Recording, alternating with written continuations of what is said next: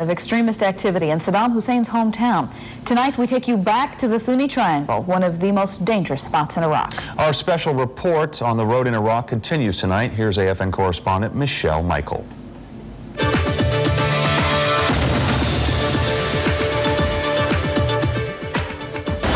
Michelle Michael. We continue our special coverage tonight from inside the Sunni Triangle. I'm at Forward Operating Base Danger in Tikrit. 1st Infantry Division soldiers here are working with civil and military authorities in Iraq to build a secure, stable, and self-reliant country. Part of that process is to neutralize anti-coalition insurgents.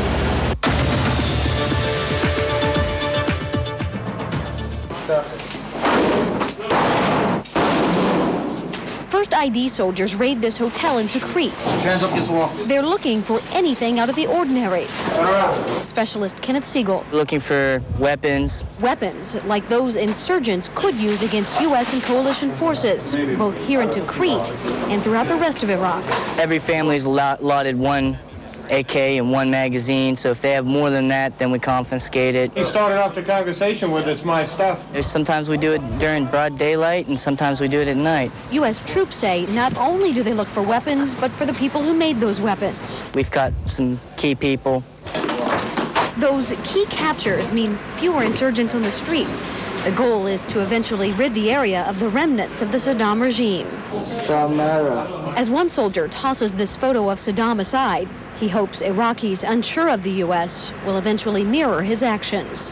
It's the local Iraqis who often supply First ID soldiers with the information they need for those raids. Every day, troops leave this military camp. They go out into these villages, build relationships with the people, and improve the Iraqi way of life. It's a life that is drastically different than what it was under the Saddam regime. Sergeant Kimberly Lewis follows the 1st Infantry Division into Tikrit. After the fall of Baghdad, certain tribes in Iraq were forced out of their homes and displaced because of looting and robbery due to the instability within the country during the war. The Kurdish came and they forced us to leave. We, when we left by force, all we have is our clothes and our back, nothing else. And we really don't need anything. Except for the land and lifestyle they're used to. First of all, what we need from the American force to be always in safe. We need this school to be fixed. We need to have water, electricity. That's all we ask.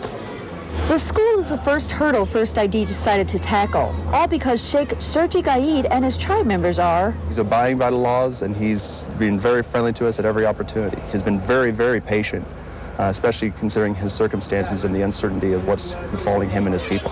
First ID took in the Sheikh and his people who are presently living on an abandoned military compound.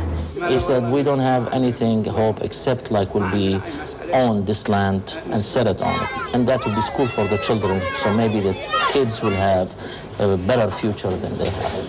Sheikh Gaid is doing is he's trying to find out what the future holds for his tribe as well as uh, the people that he's kind of left along the way.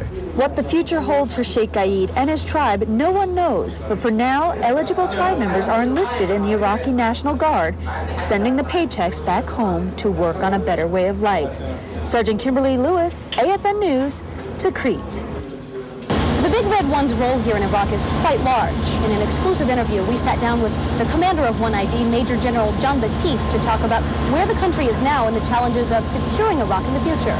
We're, we're here to do many things, but uh, not the least of which is to conduct full spectrum operations. By that I mean we're here to kill or capture the anti-Iraqi forces, the terrorists, the foreign fighters, uh, the criminal element, the former regime elements. There's a lot of progress. You look around Tikrit or Bakuba uh, or Beji or Samarra or Balad, any number of cities in AO danger, uh, things are happening. We've got irreversible momentum going in the right direction. And it all really does start with competent Iraqi security forces, the Iraqi National Guard with us today, the police, and the Department of Border Enforcement.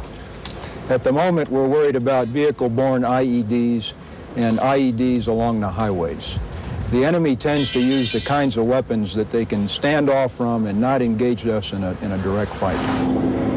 We control the roads. We control the ground. That, that's the biggest thing. And we do it with multiple forms of contact, both on the ground, in the air, uh, by spheres of influence engagements, by observation posts at the right place with a sniper rifle uh, to kill or capture the enemy who might want to emplace an IED along any of our roads. I think the biggest challenge today is the resettlement. That is the, the thousands of Kurds and Arabs and Turkmen and Assyrian that were displaced during Saddam Hussein's regime. So now we're working through the deliberate process at local uh, governmental control areas uh, to make sure we do this safely and do it deliberately, impartially, and transparently. I think the soldiers of the 1st Infantry Division know well the impact they're having. Every one of these soldiers is contributing to this irreversible momentum. This country's heading in the right direction, and quite frankly, it doesn't matter what the enemy wants at this point. There's going to be freedom and some form of Iraqi democracy in Iraq. The new Iraqi government is only a couple of months old, and so is the know-how to protect it. Specialist Amy English shows us how One ID is training the Iraqi National Guard to defend its country. These Iraqi guardsmen commit themselves to defend their young democracy. As we want to make the country safe. We want to live in peace and make it so there's no difference between Muslim, Christian, Sunni, and Shiite. Because of today's threat of explosives in this part of Iraq, these trainees are learning to conduct a traffic checkpoint. They have to check the vehicle completely. Underneath it, they need to provide security. They'll usually have four guards that will provide security on the personnel and checking the vehicle to make sure there's nothing in there that's illegal.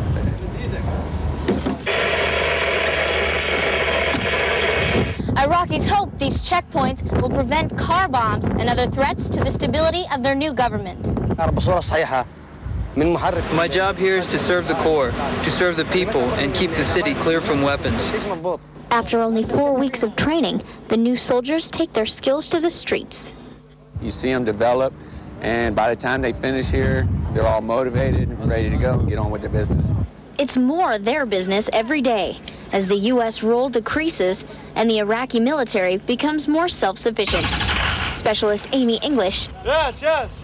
Bye. AFN News, Tikrit.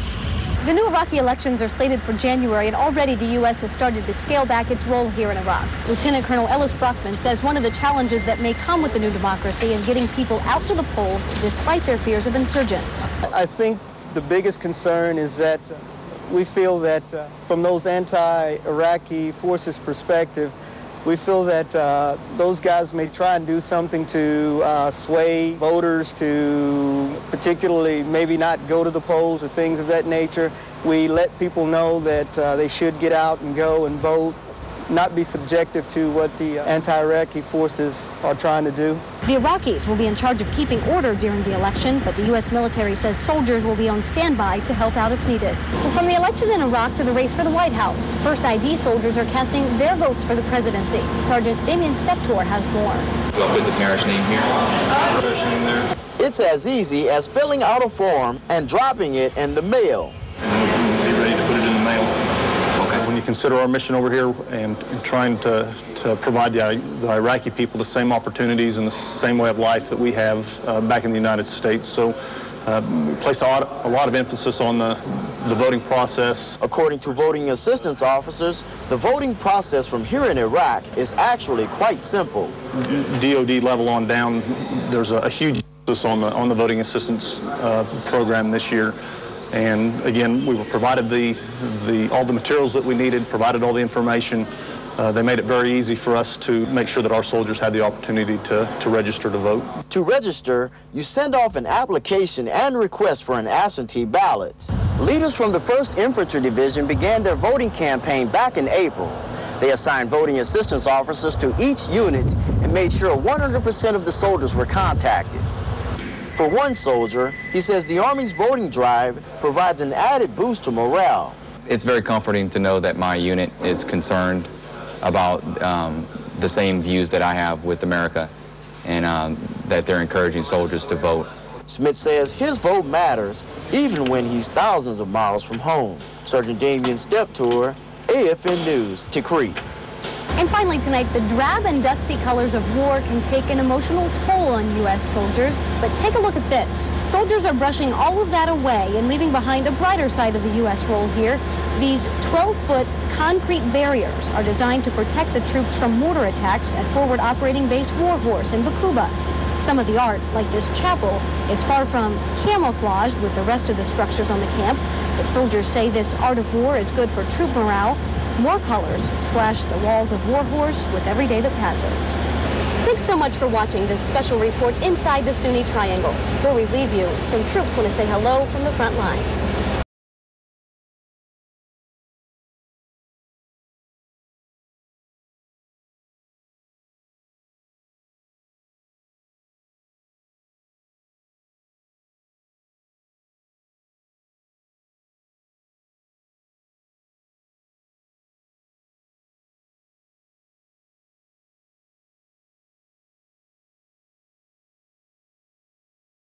My wife Kira in Katterbach, Germany. I love you, sweetheart. I miss you. I'll be home soon. I'd like to say hi to my wife, Shanita, and my two girls, Ashley and Camden.